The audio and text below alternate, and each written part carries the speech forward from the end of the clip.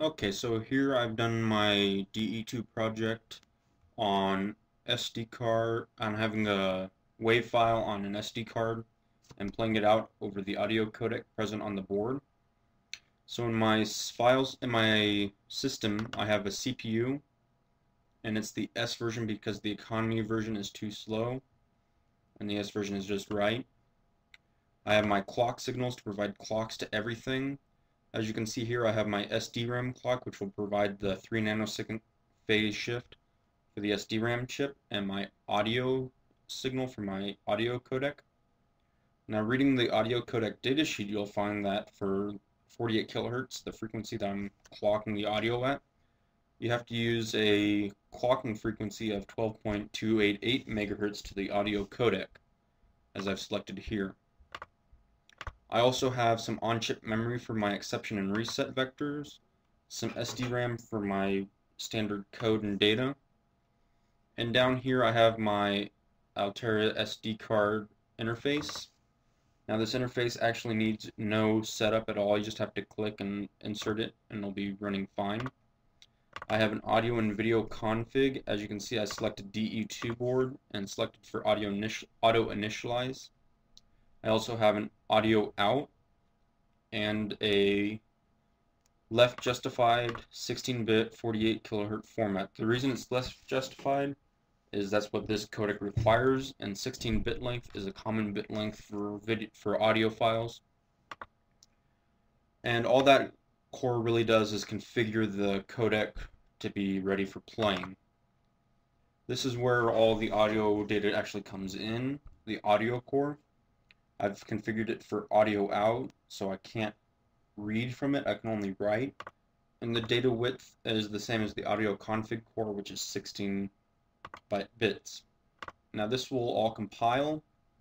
On the clocks section, there's this little nuance of where you need two clock input clocks, one at 27 megahertz for the audio clock, and one at 50 megahertz for your system clock and SDRAM clock. And then this will all generate and compile just fine. And then down here in Quartus, we have the compiled system. And the interesting things to take a look at are this audio clock is exported to the audio codec. This SDRAM clock is exported to the SDRAM clock, or the SDRAM card.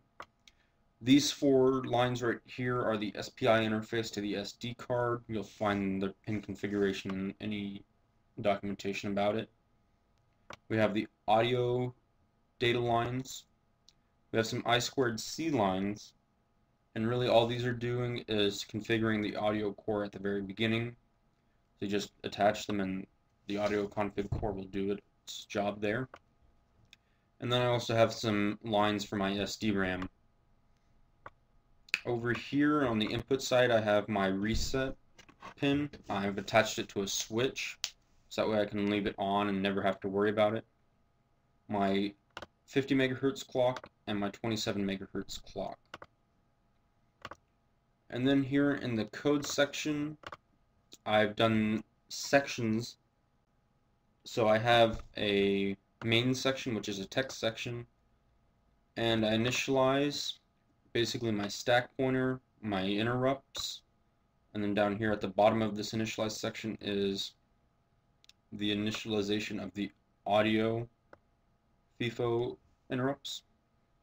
I also have included a buffer pointer for the SD card interface buffer, a sector pointer telling you which sector you're currently pointing at, and what cluster or sector your song ends in.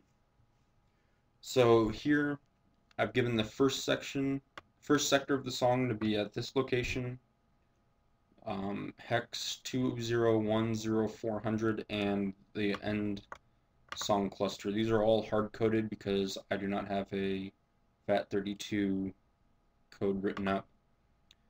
Over here in my macros file, I have some macros like push and pop. Clear just to make everything really easy. And then, let's see, I have a load macro just in case I ever need it. And then I have some common things, some common variables set up like SD slot and audio.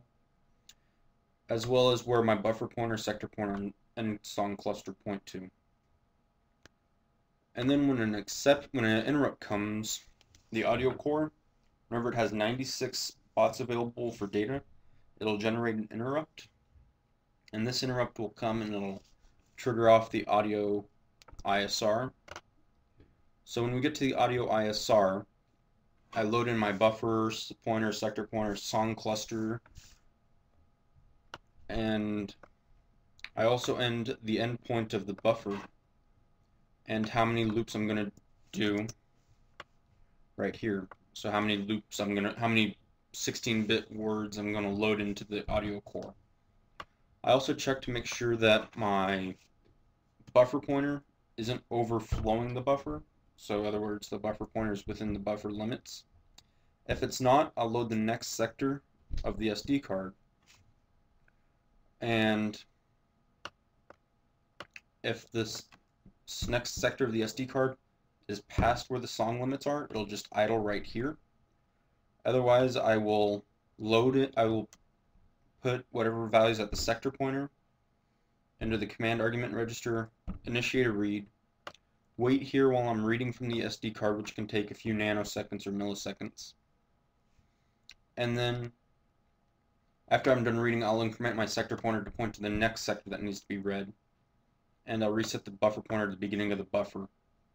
And after that point, I'll actually exit the interrupt altogether and this is all just for timing to make sure I have no distortion in my output signal.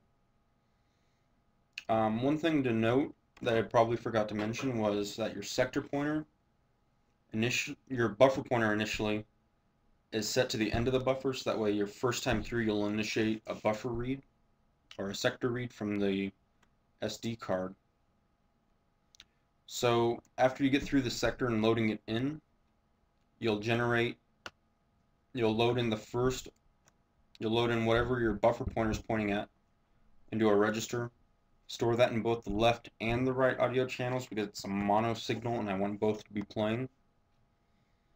And then I'll increment the buffer pointer by 2, demonstrating 16 bits. I'll detract one from my counter, showing how many words to insert into the audio core.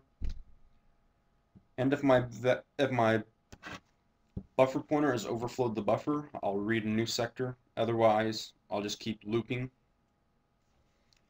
If my counter is all the way decremented to zero, I'll exit the interrupt altogether. Now the reason I chose 86 instead of 96, the maximum that the FIFO can handle, is because at 96 you have errors in reading the SD card, where sometimes your SD card will have to read when you're buffer is empty, your FIFO is empty for the audio. But at 86, you're always reading the from the you're always reading a new sector from the SD card when the audio FIFO is almost full, and so you never lose any data time running there.